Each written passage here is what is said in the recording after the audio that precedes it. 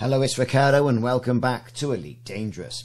Well, the month is June, and about a month ago, Frontier announced an official Starship database on their website. I completely nutly missed this, as I think did an awful lot of commanders, and I was a little bit surprised to find a Facebook post detailing that this was now on the website. So, I rushed over and had a quick look to see what it's all about. And if I missed it, I bet a lot of other people missed it as well.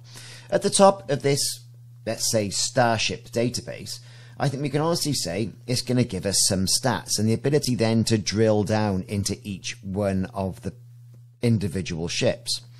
Clicking on a good old favourite, and I've got to mention that the Cobra Mark IV and Viper Mark IV is nowhere to be seen, but then they're not widely available in game unless you were a Kickstarter or a backer. It has a list of all the ships that are available. So let's click on the one for the adder.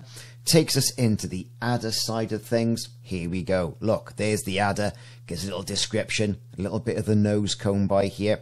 And then we've got down here stats. So obviously no fighter bay. It's got one seat for multi-crew. You can get it on a small landing pad. So some quite interesting information. But seeing as the game has been out for more than 10 years, 10 years and a couple of months, should we say. Um, why now? Is what people are asking. Here we have got, you know, all the other cosmetics you can put on. This is quite a nice little feature. Yes, you've got ship kits you can bolt onto your ship and all the really expensive paint jobs you can pop on there too. Also with all the cockpit customizations. The community, however, have met with this with a little bit of skepticism. Um, as I say, well, hmm, is this a precursor to selling the ships like Star Citizen? Nobody really knows. All I can say is it's an addition on the website that's giving us a little bit more information on the ships you can get in the game. Going back to the main list again, of course, we've got the big ones up here the Python Mark II, yes, uh, Alliance Chieftain, Type 9 Heavy. Soon we'll have one for the Type 8. Clicking on something else we've got here, the multi-crew seats you can see highlighted in orange. Yeah, brilliant. Frame shift drive. Yeah, brilliant. You know, all this. Good information, don't get me wrong, but why now?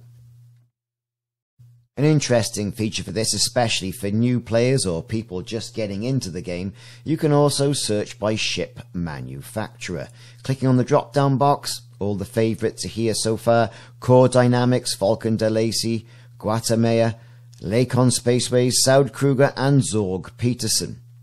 So, okay, this gives us a little breakdown of what ships by manufacturer are currently in the game. Good. Good for us. Isn't that fantastic? Another good feature as well is the add to comparison option that's here. So here we've got the typical Fer-de-Lance. I'm a great proponent of the Fer-de-Lance. We're going to add that to a comparison.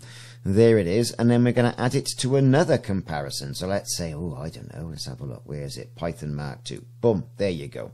And it'll give you a good comparison straight away of between the stock levels of each ship. You can also add in a third. So, oh, I don't know. Where's that old Mamba? Those are the fighters, aren't they? There. And you can see exactly what's going on. So, the ship comparison to the Fer-de-Lance. Python Mark II, yeah, brilliant. Okay. According to this, the top speed of the Python Mark II here, the Mamba is faster. Okay, well, fair enough. Um, although, you know, you got better frame shift drive options. This is a heavier ship than what this is, obviously.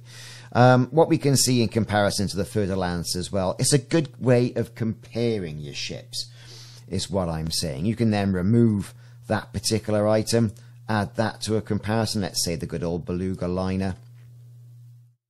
There you go. You've got all your comparison stats here. So a good way of doing those comparisons, I suppose, and a good little feature on the website. Scrolling all the way down to the bottom of the page, talks a bit about what multi-crew is. Again, it's it's plugging all the customizations on the store but it is a good way, I suppose, of doing comparisons and seeing what the ship can do without messing about with any third party tools. Although you could say third party tools are better. Anyway, I've been Ricardo. This has been a quick look at the Elite Dangerous official Starship database available online. I'll put the link in the description. Let me know what you think. Is it too little too late? Is it things we already knew? Are you going to be using it? Who knows? I'll see you soon.